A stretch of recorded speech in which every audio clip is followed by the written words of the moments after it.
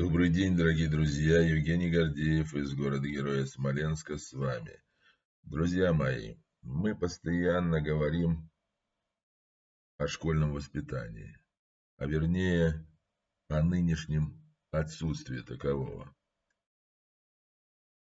Мы видим, что из школьных программ убраны важнейшие некогда предметы, которые воспитывали в детях чувство патриотизма, любви к родине, любви и уважения к старшим, готовности помочь человеку в беде, доброте, милосердии и так далее. Сейчас этого нет, голые предметы.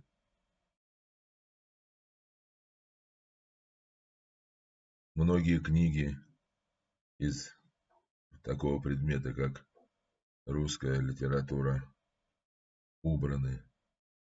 Появились новые книги, которые, как говорится, ни уму, ни сердцу русского человека ничего не дают. При этом мы видим результаты такого школьного воспитания.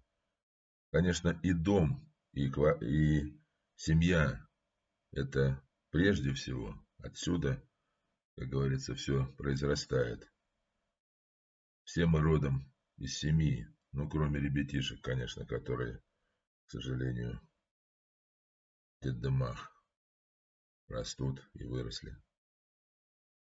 И мы не видим и не знаем, а какие же страсти кипят, какая каша варится, что происходит порой страшно негативное за закрытыми дверями учительских, директорского кабинета, директора школы.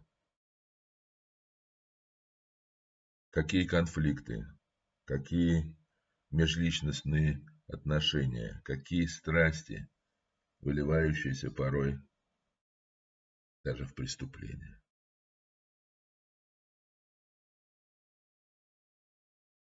Вот, например, в Мордовии учитель ОБЖ. Это основа безопасности жизнедеятельности ОБЖ.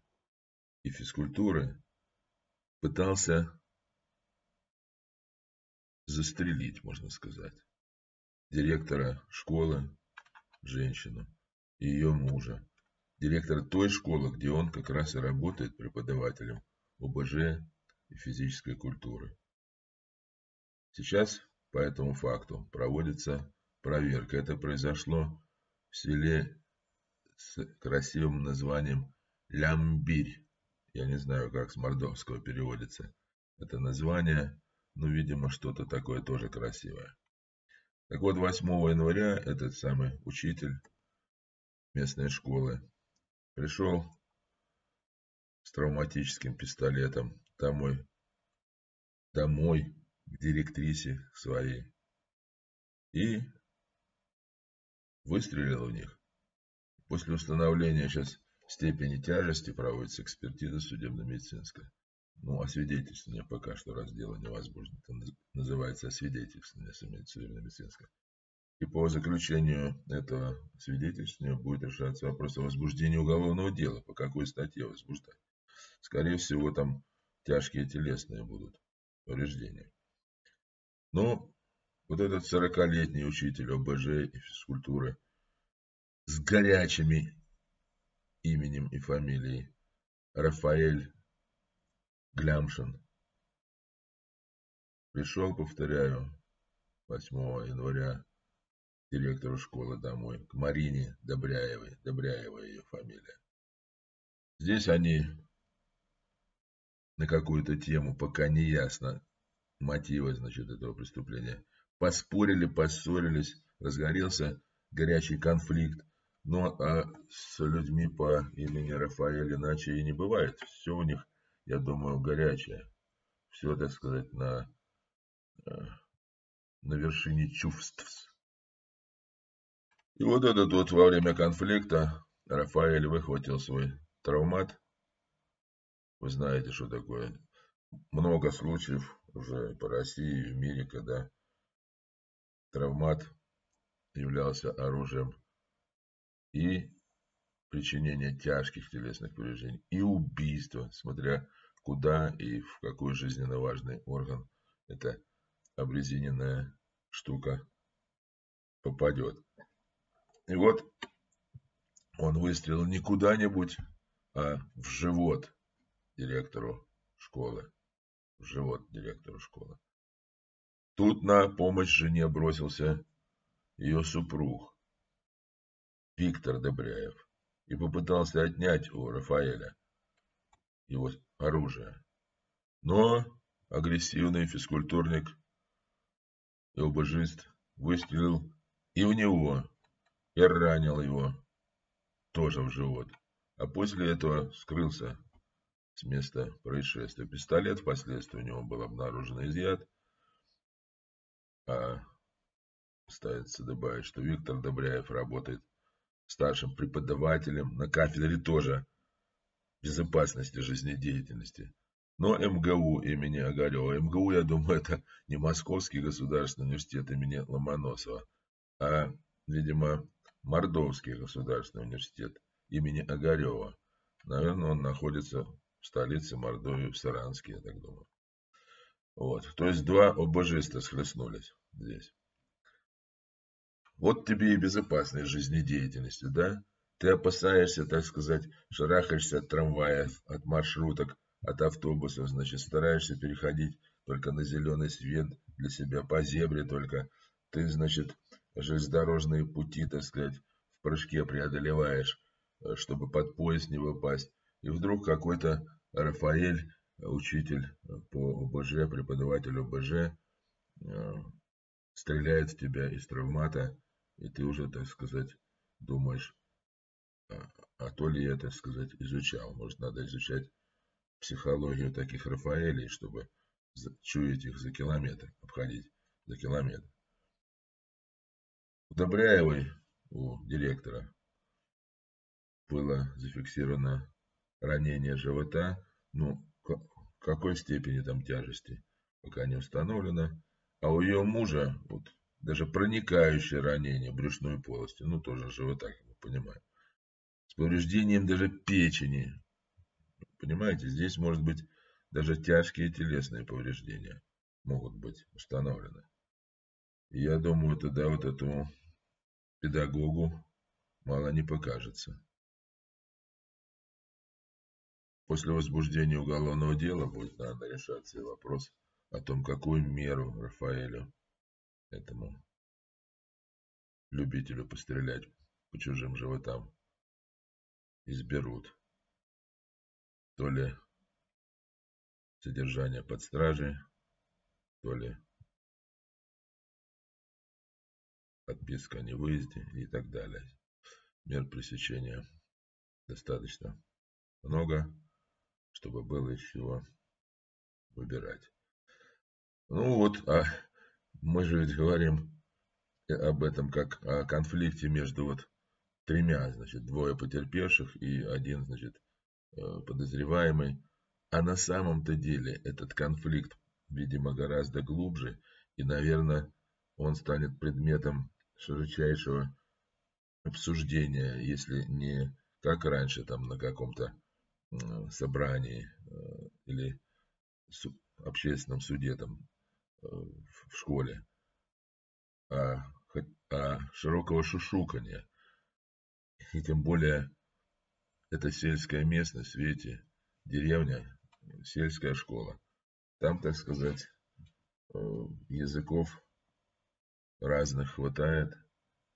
И все это, и все это будут слушать и впитывать детишки, дети разных возрастов, которые в этой школе учатся и живут в, это, в этом селе или в окружающих тоже селах, потому что школа, как правило, на несколько там населенных пунктов, на несколько, 10, может быть, и более. Так что ничего хорошего, значит, из того, что получилось с этим Рафаэлем, не будет. Не будет ничего хорошего. То ли это любовный треугольник, то ли это на почве э, несогласия Рафаэля с, с теорией Виктора Добряева о том, что такое основа безопасности жизнедеятельности. Я не знаю. Я не знаю. Но следствие обязано будет установить. И также, а я хотел сказать, что в школе всегда, а сейчас особенно напряженная обстановка.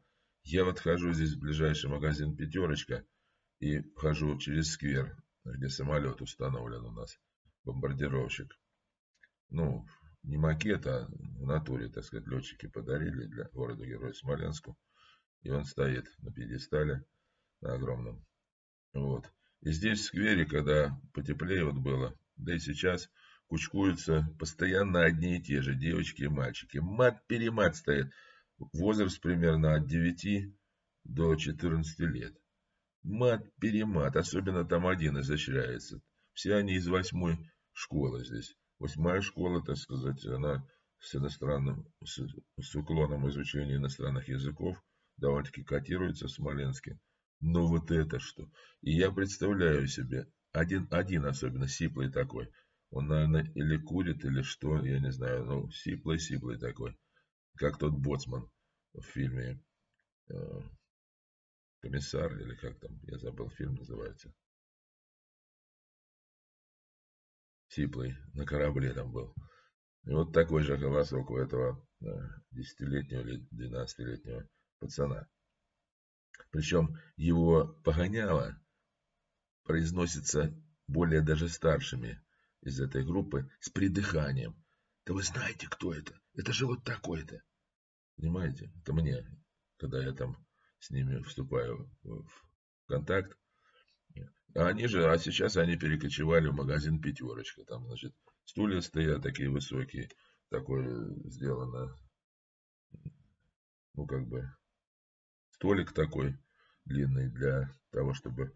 И розетки можно зарядить там бесплатно свои телефоны. Вот, сотовые. И они постоянно на этих стульях, значит, сидят, гогочут, регочут, мат-перемат. Девочки особенно изощряются, понимаете. И я думаю, какой же они устраивают в школе, особенно вот такие с погонялами уже, с детскими, понимаете. И что из них вырастет? Кто из них вырастет? Какой они учителям напряг устраивают? Они наверняка срывают уроки, потому что все гогочут, все регочут, все их э, гласно или негласно поддерживают, я имею в виду, э, ну, сверстники там, одноклассники. И они чувствуют себя, так сказать, э, на, на гребне славы. На гребне славы.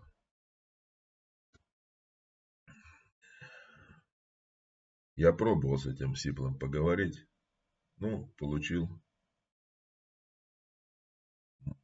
мат четырехэтажный свой адрес. А гоняться за, за ним вокруг этого самолета, ну, и не солидно, и неохота. А если что, так сказать, за ухо схватишь, так еще, так сказать, огребешь за, за насилие над несовершеннолетним, значит, за, за избиение э, или побои несовершеннолетнего. Я как-то участвовал в одном уголовном процессе в качестве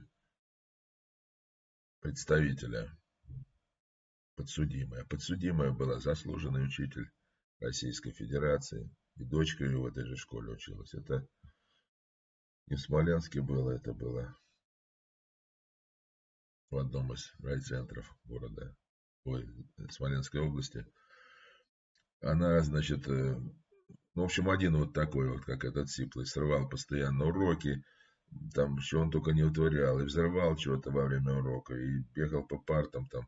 Ну, в общем, страшный человек. И однажды она попыталась пресечь, значит, его хулиганство, схватила его, и каким-то образом получилось, что в ее на руке оказался зажатым клочок его волос. Все, уголовное дело. Уголовное дело. Ее лишили любимого дела. Ее уволили, естественно, из этой школы. Дочка ее вынуждена была уйти. А мне удалось, значит, за примирением сторон добиться прекращения этого уголовного дела. Хорошо, так сказать, судья понял, о чем речь. Я с судьей разговаривал по этим вопросам. Но все равно, я же говорю, что была заслуженным учителем, стала судимым учителем. Хотя, я еще раз говорю, дело прекращено, но прекращено по нереабилитирующим основаниям за примирением сторон. Грустно, печально, друзья. Но факт, в наших школах варится то, что мы получаем на выходе. Плюс в совокупности семьи. А этот Сиплый уже не раз, кстати, в пятерочке за руку ловился охранником при мелких кражонках. При мелких И единственное, что он говорил, мамке только не сообщайте, она меня забьет. Забьет, убьет. Друзья мои,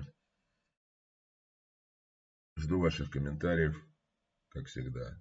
Спасибо за то, что вы со мной, за то, что вы участвуете в разборе полетов, участвуйте в жизни нашего домашнего приюта КТВАСИ-67.